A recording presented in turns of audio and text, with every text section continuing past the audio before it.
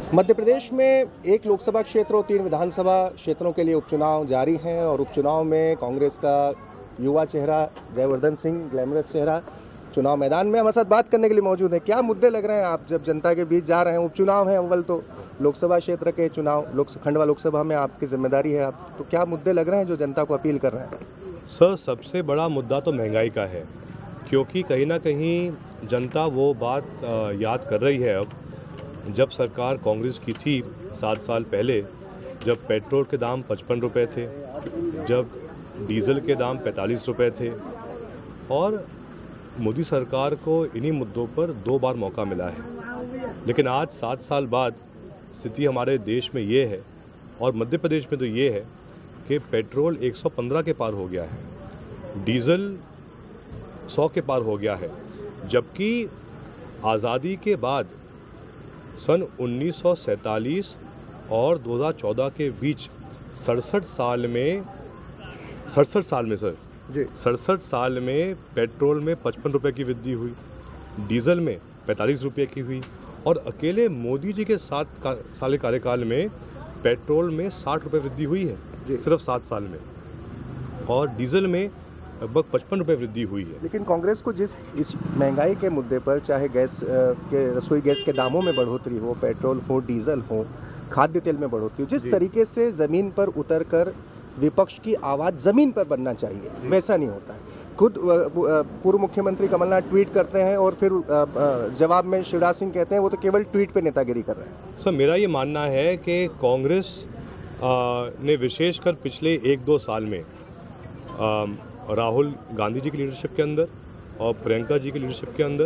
आ, अगर हम देखें और विशेष कमलनाथ जी के भी लीडरशिप के अंदर आ, पिछले एक दो साल में आ, बहुत सक्रिय रूप से हमने हर कस्बे में आंदोलन किया है आ, हर ब्लॉक पे आंदोलन किया है और जो महँगाई का मुद्दा है चाहे और उसे सब पीड़ित हैं चाहे किसान हो चाहे व्यापारी हो चाहे युवा हो चाहे महिला हो।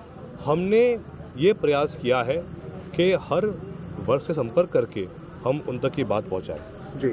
यहाँ की जब स्थिति बनी तो पहले रहा कि अरुण यादव चुनाव लड़ेंगे फिर उन्होंने पारिवारिक कारणों से विड्रॉ कर लिया।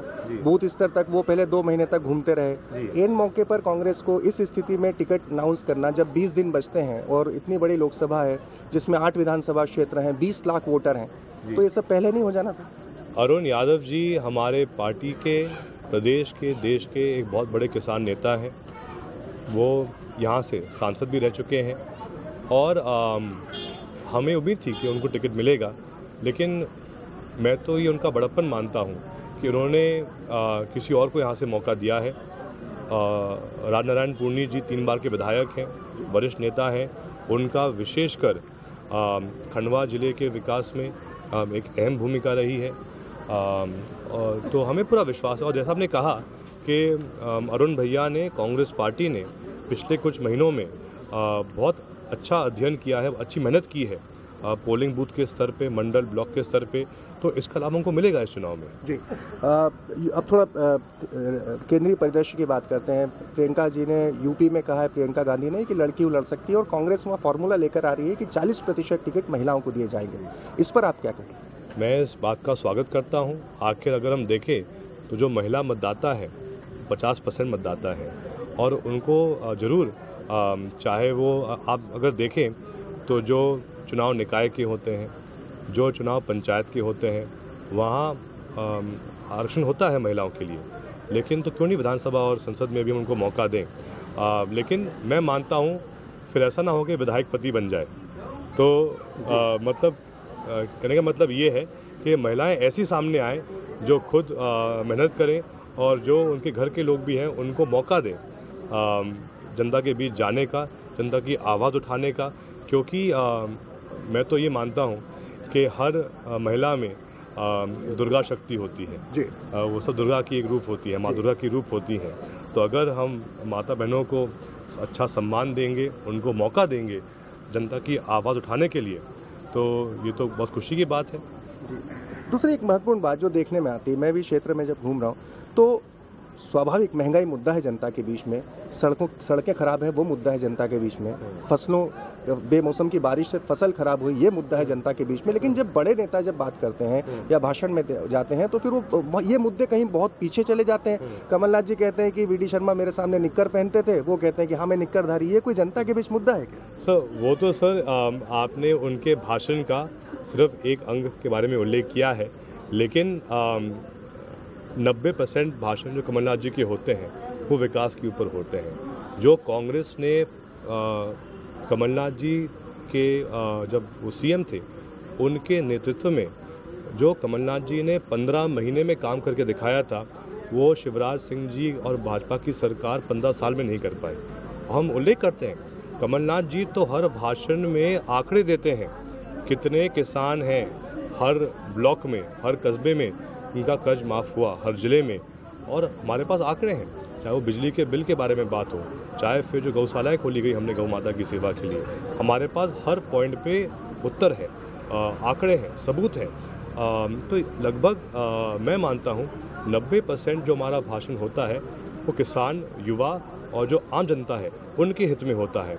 इसमें मैं आपको एक और पॉइंट ऐड करना चाहता हूँ। मध्य प्रदेश देश का सबसे बड़ा उत्पादक है सोयाबीन का। जी।